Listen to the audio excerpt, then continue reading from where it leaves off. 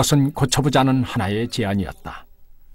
노무현 대통령의 선거법 위반에 대해서는 국민과 함께 끝까지 싸울 것이며 대통령의 선거법, 헌법 위반의 책임에 대해서는 퇴임 후에도 끝까지 그 책임을 물을 것입니다.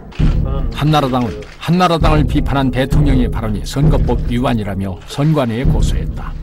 우리나라 선거법 자체가 안고 있는 모순을 토론하고 고쳐보자는 제안은 묻혀버렸다.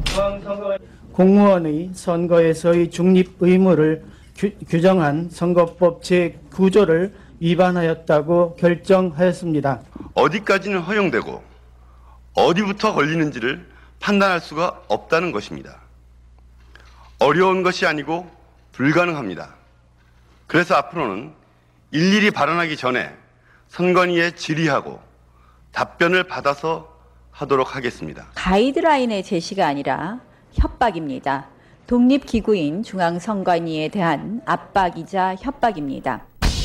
현재 우리나라 선거법은 법리적 모순을 안고 있다. 공직선거법의 규정과 공무원법 시행령의 규정이 서로 다른 것이다. 일단 법 규정 자체라도 하나로 통일해야만 한다.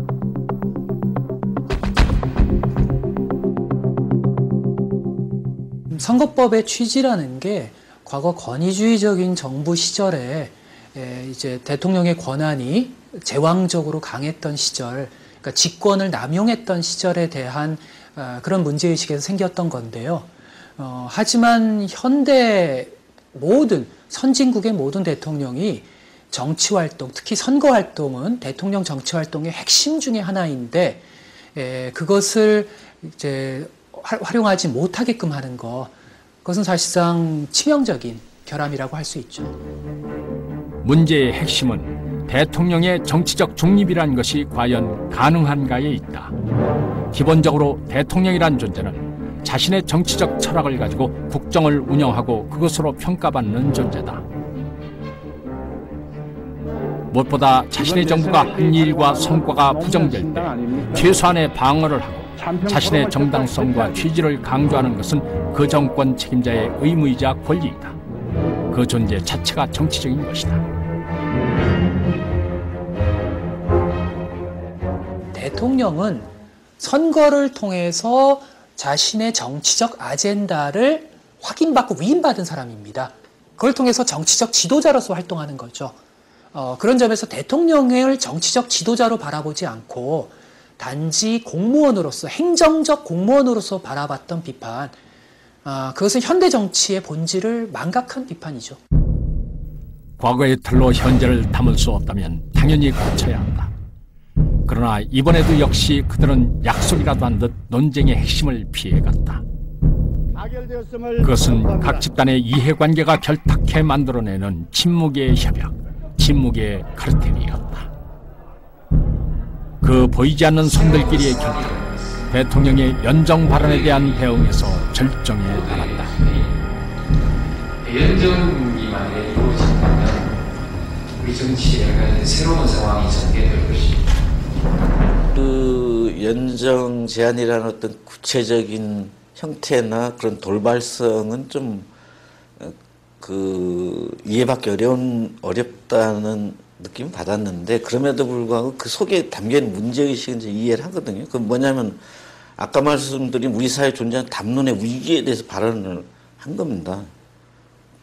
지금 이렇게 이미 현실 사회 경제는 글로벌화 돼 있고 이게 우리 사회 내 삶의 질하고 따로 가고 있는데 이 속에 진짜 우리가 모두 힘을 모아서 여기서 어떻게 방향 차리고 같이 노, 힘을 모으고 노래를 해, 해놓은 구조가 있어야 되는 거 아니냐. 연정은 대립의 정치 문화를 극복하고 대화와 타협의 정치를 만들어 보겠다는 통합의 공약을 실천하려는 시도였다.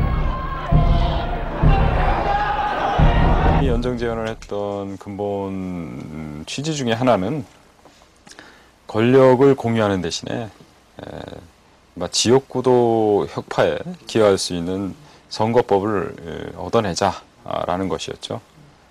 이걸 통해서 이 한국 정치의 근본적인 그 병폐의 하나를 좀 해소를 해보자고요. 각 지역에 뿌리를 두고 있는 두 정당이 국사를 어, 협력해서 처리하는 모습을 어, 보여줬다면 예, 국민들의 어떤 어, 지역 감정이랄까 아, 이런 것이 많이 완화됐을 그런 가능성도 어, 크다고 봅니다. 이제 정부를 자꾸 흔드니까 지역주의도 극복할 겸 정부도 안정시킬 겸 해서 연정론 같은 걸 제안했지 않습니까? 그건 본인은 선의로 제안을 하, 하는 건데 상대방은 그걸 정치적으로 맞으면 이용을 하지 않습니까? 그 대통령께서는 그냥 이거는 지역주의 당연히 극복해야 될 과제이기 때문에 그 정부라는 게 이렇게 그 계속 그 흔들려서는 안 되기 때문에 그 강행을 하셨는데 연정장이라는 것이 일종의 해프닝으로 끝났습니다만은 한국의 이제 민주주의 논쟁으로 볼 수가 있습니다. 대통령은 새로운 선진 정치 문화로서 유럽식의 어떤 합의 민주주의를 제의했던 거죠. 그게 상징으로 연정입니다. 토론은 무쳤고 우리는 어쩔 수 없이 이 정치를 또 견뎌야 한다. 당대의 평가에 주목했다면 그 모든 것은 하지 않아도 됐다. 그러나 그는 했고 그것이 그가 시대화한 약속이었다.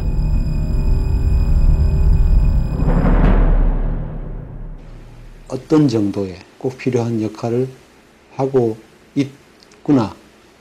그 확신은 제가 있을 때도 그랬고 지금도 있습니다. 근데 문제는 어, 그게 잘 눈에 드러나지 않는 거라는 거죠. 어떤 점에서 그게 어, 노무현 대통령의 어떤 그, 그 국정 수행 방식이고 또 참여정부의 어떤 성격인지도 모르겠어요. 또, 또 다른 눈으로 보면 역사적으로 참여정부한테 그렇게 하라고 운명적으로 맡겨져 있는지도 모르겠어요.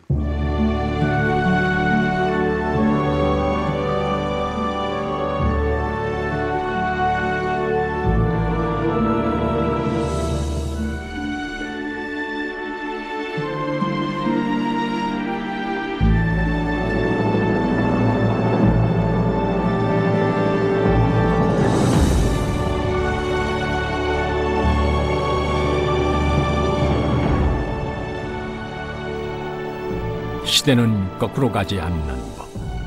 분명 언젠가는 개헌을 할 것이고 선거법의 모순은 고쳐질 것이며 대화와 타협의 정치도 실현될 것이다. 그때 역사는 기록할 것이다. 그 시초는 참여정부에서 시작됐음을 그 첫발 그것은 참여정부가 우리 사회에 준 선물이 아니었을까.